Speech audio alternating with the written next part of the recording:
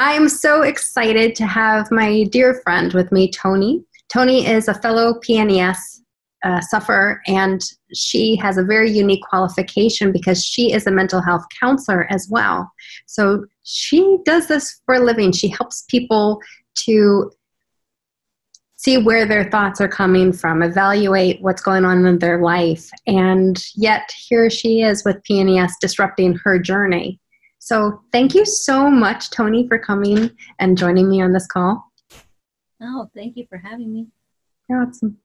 So tell me a little bit about, um, if you don't mind, and I do appreciate your vulnerability and your willingness to share, but would you share with us a little bit about your journey?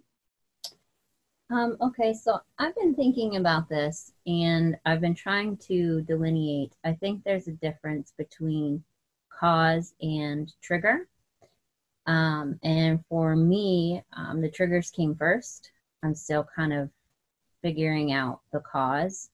Um, so in probably October 2018, I woke up one Monday one Monday morning and um, was reaching in the fridge for something. I have no idea what, but my head started to do one of these, mm. and I couldn't stop it. And it didn't last very long, so I just was like, "Oh, okay." And then maybe a few weeks later, I think it was my eyes or my hands. Something else happened, and I still I didn't think anything of it. Um, my husband started to get concerned because these were just happening, and I started to kind of figure out well what's happening, you know, days before, and I was on well I still am on medication for my anxiety, and I had noticed a pattern. I wasn't taking my med, and then the day after, I was guaranteed to have some sort of shaking. So I was on this path like it's got to be my meds, it's got to be my meds. And then in April of 2019, I woke up, I took the dogs out, um, made it right inside my front door before I lost vision. Um, I called for my husband, and by the time he got to me to get me to our couch, my whole body had started to shake. Mm. And um, he got me to the couch and he called the ambulance and um, it lasted for about an hour. All of the shaking by the time the emts got there i calmed down. Um, but i took my pill the day before. So i was then like mm, i thought it was my pills not taking them. And that sort of began the journey of seeing neurologists and my pr- primary care doctor trying to figure out you know what's going on um, so fast forward a few months, it was August of 2019, and I began to have three to four episodes a day um, for about two weeks straight. And I had already been um, like scheduled, pre-scheduled to go and have um, the epilepsy monitoring at a hospital near here. But I called and I said, "You got to do something because now I can't even function. Um, I can't. I wake up, I'm having one, and then a couple minutes later, I'll have another one." Mm. So I went there, and at that point, I was kind of leaning towards PNES um, after doing some research because the 24 hour and the sleep studies, nothing was showing epilepsy. Mm-hmm. Um, so I went and had the monitoring done, and so September 3rd or 4th, I was told I had PNES, and uh, I broke a little bit. Um, it kind of messed with my identity, uh, mm-hmm. who I thought I was, um, stuff that I thought I had figured out because I had a little bit of knowledge of what PNES was because I had researched it, been researching it. Um, I was like, no, I don't have any. I don't have any unresolved trauma. I, I don't have any unresolved trauma. I'm fine. Um, but I called my mom when they were discharging me and broke and said it's because I just held it all back. So um, since then, I have started to track everything um, on my cell phone. I have a little app where I track if I have one, track if I don't have one. Um, did I get enough sleep? Did I take my pills? Um, because I've learned my triggers really, really well. Um, stress Mm-hmm. I live at an elevated level of stress. I'm normally a stressful person. Um, I I work well under stress, so I keep myself kind of at a stressed level most of the time, anyways. But when it becomes too much, my body decides it's done. Um, and in mental health, you know, with the trauma side of it, which is the cause, um, my brain has forgotten a lot from my childhood. It's blocked it for me, but my body, my body doesn't forget. And I think I've made it to the point in my life where I've been so strong for so long and ignored it for so long that my body's like, eh, you gotta do something about it now. So um, it's kind of, it disrupted a lot for a while. Um, I'm still slowly, because that was only what, six, four, five months ago, in September, that I actually got diagnosed. Mm. So I'm still learning um, I know my triggers really well. I am starting to figure out the causes, but I so as as a counselor, I know it's important to address the causes. Otherwise, I'm probably never going to be able to get rid of PNES seizures. However, I am not ready. I don't want to um, because it's going to affect a lot of things. So yeah. I'm dealing with the triggers, and that's that. I like how you said that. That that's where you're at. Um, mm-hmm. You know the journey, but you're not ready to to take that next step, and so you're dealing with what you can deal with, and and you're not just dealing with the the triggers itself, but you're being proactive. Uh, Tonee and I are in a PNES Hope group for recovery, those who want to recover. And so it's a lot of skills teaching and it's, it's a community building.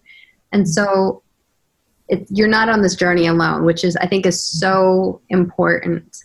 Um, let me ask you a question. What app is it that you use? It's just a note taker. Oh, okay. okay. All right, good. What kind of information have you found, or what do you think that would be helpful for other people to take note of. Uh, for me, I remember writing like if I skip meals, mm-hmm. uh, what I ate. I, I cut out caffeine completely for a few weeks, uh, probably two weeks. That was torturous. now I don't have it at all, so it doesn't matter.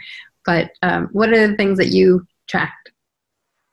So for me, um, one of the big things is making sure I take my meds um, because it keeps if they're not meds for seizures, they're mm-hmm. meds for anxiety. And because I am already an anxious person, keeping my anxiety at a manageable level is important. So I make sure not to miss my meds.